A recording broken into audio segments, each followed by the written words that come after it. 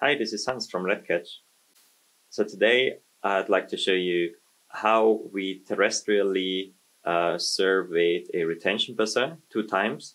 First time back in uh, 2020, two years ago, where it was empty, and uh, the last time a week ago uh, after a heavy rainfall event.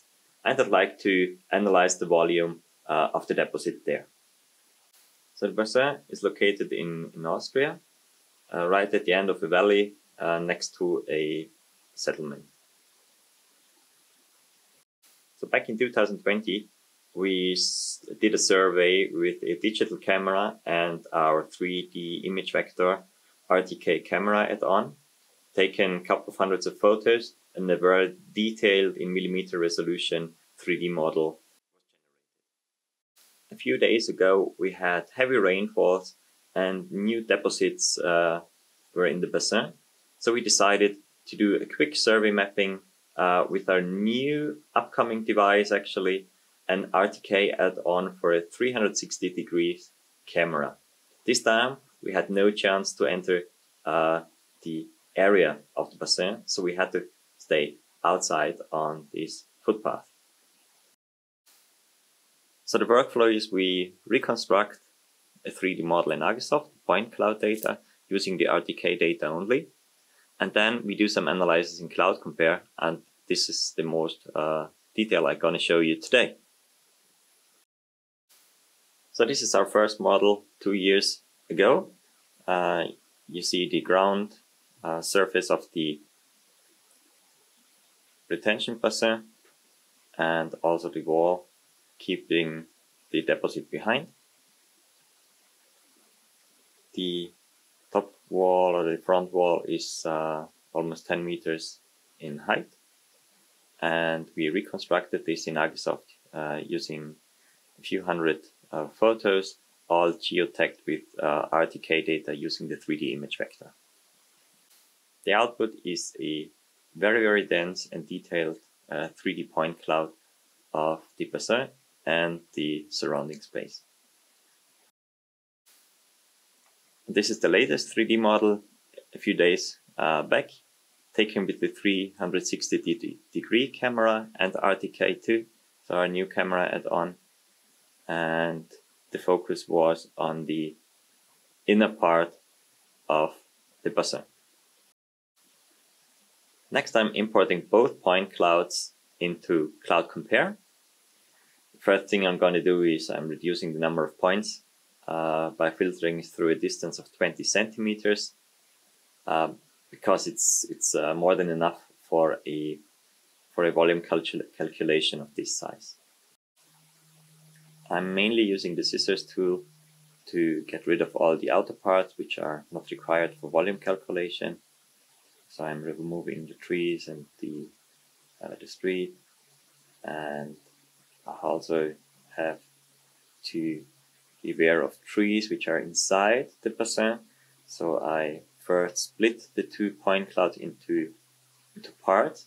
The inner part with the tree I'm cleaning separately, again with the scissor tool, and then I merge both uh, again to receive the final point cloud.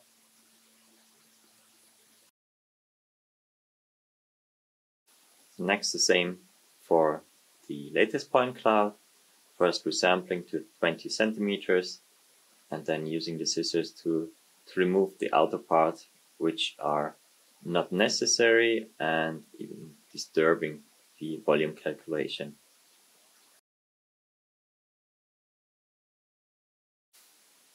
So now I'm switching from the RGB colored point cloud to a uh, occlusion hillshade based point cloud and I'm going to do an intersection by slicing uh, both point clouds and you now can see uh, the, the deposit height and can quickly go through it and analyze it further. And you can even export this section as a new mesh or as a new point cloud.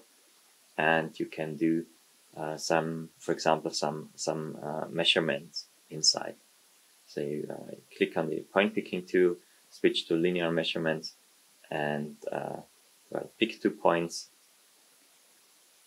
and you see that the deposit height is about uh, 6 point, uh, 9.6, 9.7 uh, meters.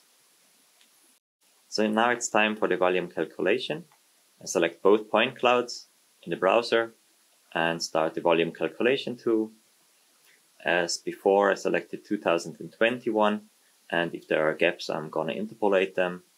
And afterwards, the, the after surface is the one uh, passed a few days ago. Hit calculate or update and we receive the volume in cubic meters and uh, got a nice view of the deposit heights.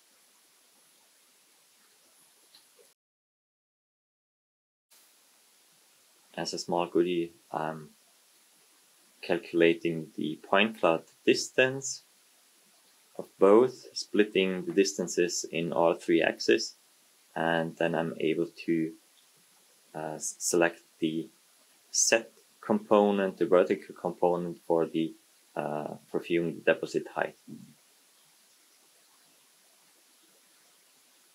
And as this view is uh, very nice, I like it, uh, I'm gonna render it uh, as a JPEG file on my hard disk. So I'm starting display, render to file, increase the uh, zoom, enter a file name, hit OK, and the result is shown here.